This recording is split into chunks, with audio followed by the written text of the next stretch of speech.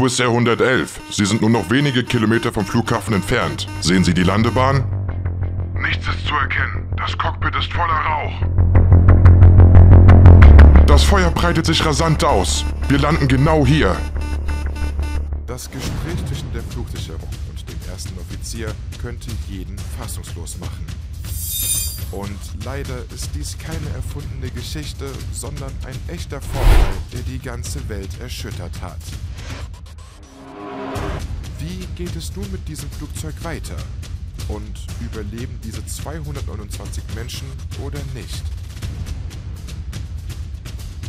Das ist die Geschichte des Swiss Air Flugs 111, die du dir bis zum Ende des Videos ansehen musst, um zu verstehen.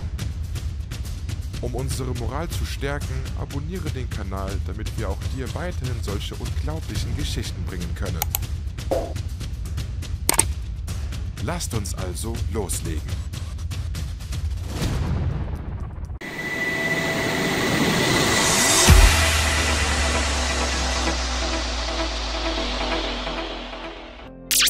Am Abend des 2. September 1998 gegen 7 Uhr machte sich ein Passagierflugzeug bereit, vom John F. Kennedy Flughafen in New York, USA, abzuheben.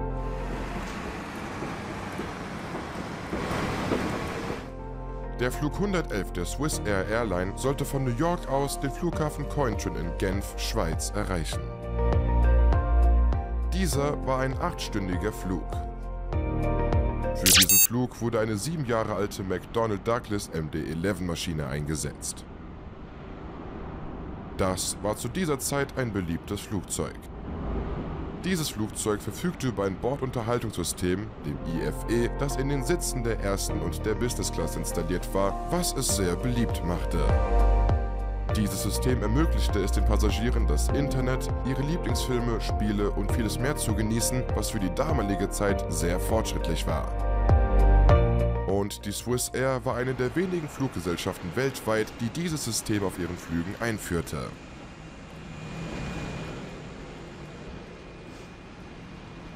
Der Flug wurde von Kapitän Urs Zimmermann, 49, geleitet, der 10.800 Stunden Flugerfahrung hatte, davon 900 Stunden auf der MD-11. Bevor er seine Karriere bei der Swiss Air begann, hatte Urs Zimmermann auch als Kampfpilot bei der Luftwaffe gedient.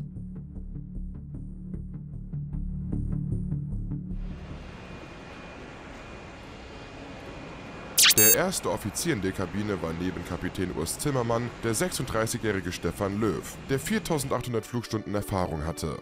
Wie Urs Zimmermann hatte auch Stefan Löw bei der Luftwaffe gedient, bevor er zu Swiss Air kam. Neben den beiden Piloten befanden sich auch zwölf Flugbegleiter auf diesem Flug. Pünktlich beförderte das Flugzeug 215 Passagiere. Mit dem Auftanken beginnt auch der Prozess des Zurückschiebens des Flugzeugs.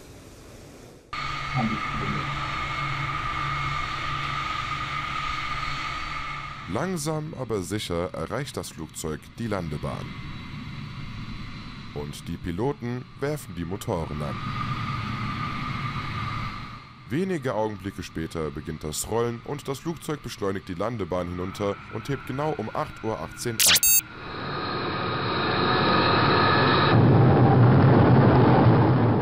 Nur 15 Minuten nach dem Start, als das Flugzeug die Reiseflughöhe erreicht, kommt es im Flugzeug zu einem kompletten Funkausfall, der 13 Minuten lang anhält. Zunächst denken die Piloten, dass es ein schwerwiegendes Problem mit dem Funksystem des Flugzeugs gibt, aber später stellen sie fest, dass sie versehentlich die falsche Funkfrequenz eingestellt hatten.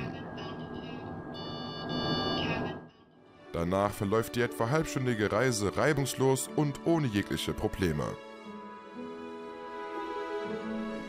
Doch 52 Minuten nach dem Start, um 22.10 Uhr, als sich das Flugzeug auf einer Höhe von 33.000 Fuß befindet, riechen die Piloten plötzlich etwas Brennendes im Cockpit.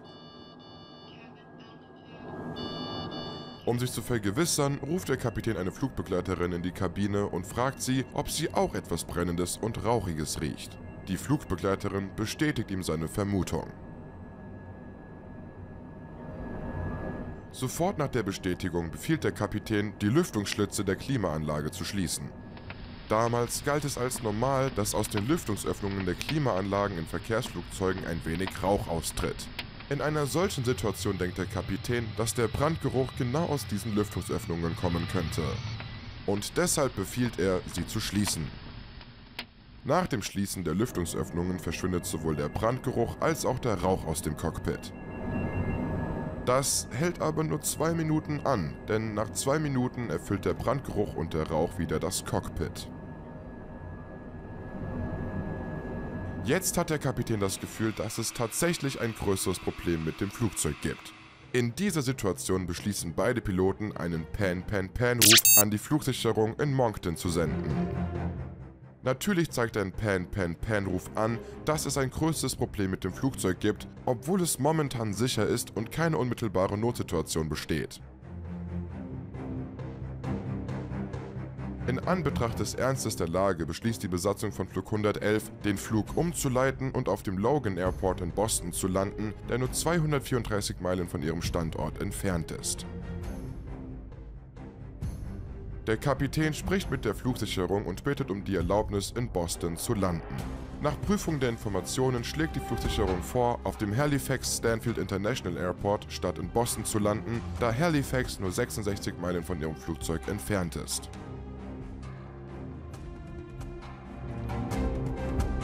Der Kapitän braucht ein paar Sekunden, um diese Entscheidung zu treffen und nachdem er einige notwendige Überprüfungen durchgeführt hat, stimmt er der Landung in Halifax zu. Danach überträgt die Flugsicherung von Moncton die Verantwortung für die Führung von Flug 111 an die Flugsicherung von Halifax. Auf Anweisung der Flugsicherung beginnen die Piloten mit dem Sinkflug, um das Flugzeug in Halifax zu landen. Flug 111 sollte auf der Landebahn 06 des Flughafens Halifax landen. Aufgrund der übermäßigen Störung können die Piloten die Anweisungen der Flugsicherung, auf eine Höhe von 3000 Fuß abzusteigen, nicht richtig verstehen. Die Flugsicherung muss die Anweisung mehrmals wiederholen und vergeudet dabei wichtige Sekunden, was sehr wichtig für den Verlauf dieses Ereignisses ist. Also weist die Flugsicherung Flug 111 an, auf eine Höhe von 3000 Fuß abzusteigen. Da die Kabine jedoch nicht landebereit ist, ziehen es die Piloten vor, das Flugzeug auf einer Höhe von 8000 Fuß zu halten. Zu diesem Zeitpunkt teilt die Flugsicherung ihnen mit, dass das Flugzeug nur noch 30 Meilen von der Landung entfernt ist. Daraufhin sagt die Crew, dass 30 Meilen zu kurz sind und sie eine höhere Schwelle brauchen, um die Höhe zu verringern. Außerdem bittet die Besatzung die Flugsicherung um die Erlaubnis, Treibstoff abzulassen, um die Landung zu erleichtern. Auf die Bitte der Besatzung hin weist die Flugsicherung von Halifax das Flugzeug an, in Richtung St. Margaret's Bay abzudrehen, da es in diesem Gebiet sicher sei, Treibstoff abzulassen. Auf dem Weg dorthin finden die Piloten auch einen 40-Meilen-Weg, um den Flughafen zu erreichen. Auf Nachfrage der Besatzung teilt die Flugsicherung ihnen mit, dass sie den Treibstoff in einem Abstand von 10 Meilen zur Küste ablassen müssen. Die Piloten folgen der Nachricht und halten das Flugzeug auf einer Höhe von 10.000 Fuß und fliegen weiter in Richtung Halifax. In der Zwischenzeit schaltet die Flugzeugbesatzung gemäß der Swiss Air Checkliste für Rauch unbekannter Herkunft den Strom in der Kabine ab, wodurch die Umluftventilatoren an der Kabinendecke abgeschaltet werden. Infolgedessen schaltet sich der Autopilot ab. Der erste Offizier informiert die Flugsicherung darüber und teilt ihr mit, dass sie das Flugzeug nun manuell fliegen müssen.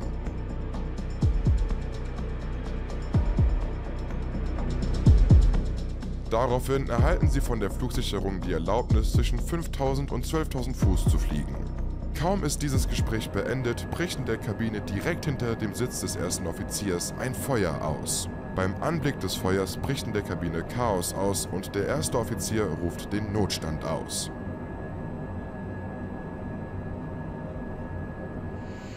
Der erste Offizier teilt der Flugsicherung mit, dass sie sofort Treibstoff ablassen und landen müssen.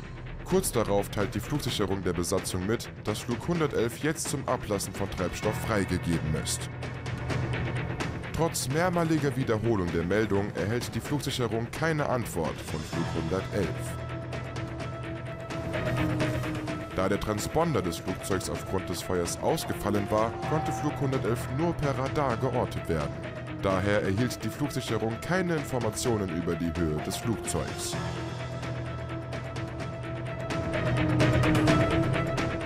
Kurz vor 10 Uhr wird ein Alarm ausgelöst, der ein Feuer in den Triebwerken des Flugzeugs anzeigt. Als der erste Offizier dies hört, schaltet er das Triebwerk ab. Dadurch entsteht jedoch ein Ungleichgewicht in der Schubkraft des Flugzeugs, sodass es sich nach rechts neigt. Zu diesem Zeitpunkt war die Kabine mit Rauch gefüllt und die Piloten konnten vor sich nichts mehr sehen. Außerdem funktionierte der Autopilot nicht und macht es ihnen schwer, zum Flughafen zu navigieren. In dieser Situation setzten die Piloten den Sinkflug fort und bewegten sich, so gut sie es einschätzen konnten, auf den Flughafen zu. Sie ahnen nicht einmal, dass sie auf das Meer zu steuern, nicht auf den Flughafen. Die Piloten hatten keine andere Wahl, als im Dunkeln Pfeile zu schießen, weil es keine visuelle Hinweise gab. Da die Gefahr vor ihnen nicht bekannt ist, steuern die Piloten das Flugzeug weiter in der Hoffnung, am Leben zu bleiben. Doch um genau 22.31 Uhr zerspringen mit einem lauten Knall die Fenster des Flugzeugs und der Frieden ist überall zerstört. Tatsächlich stürzt das Flugzeug in der Nähe von St. Margaret's Bay in Nova Scotia, Kanada, mit einer konstanten Geschwindigkeit 555 km pro Stunde in den Atlantischen Ozean. Alle 229 Menschen an Bord verlieren auf der Stelle ihr Leben. Nun bleibt die größte Frage offen. Wie ist das Feuer in diesem Flugzeug ausgebrochen? Die Ermittlungen beginnen und was dabei ans Licht kommt, macht alle fassungslos. Tatsächlich brach das Feuer in diesem Flugzeug durch die Hitze des Unterhaltungssystems aus, das das attraktivste Merkmal der Swiss Air Flüge war. Die Untersuchung ergab, dass keine Maßnahmen zum Schutz vor Überhitzung getroffen wurden, um das Unterhaltungssystem kühl zu halten. Und es war dieser kleine Fehler, der zu einer so großen Tragödie führte. Die Untersuchung ergab auch, dass das Abschalten der Stromzufuhr zur Kabine nicht nur falsch, sondern eine fatale Fehlentscheidung war. Dadurch stieg die Hitze und der Rauch in der Kabine noch schneller an. Dieser Vorfall war nicht nur für die Swiss Air, sondern auch für alle Fluggesellschaften weltweit eine Lektion, die zu verschiedenen Änderungen an Flugzeugen und ihren Unterhaltungssystemen führte. Doch trotz all dieser Veränderungen konnte das Leid, das dieser Vorfall verursacht hatte, nie vergessen werden. Heute können wir nichts weiter tun, als für die Seelen derer zu beten, die bei diesem Flugzeugabsturz ihr Leben verloren haben, damit sie Frieden finden. So, das war's für heute. Bald werden wir uns mit einer anderen interessanten Geschichte wiedersehen. Bis dahin, mach's gut und pass auf dich auf.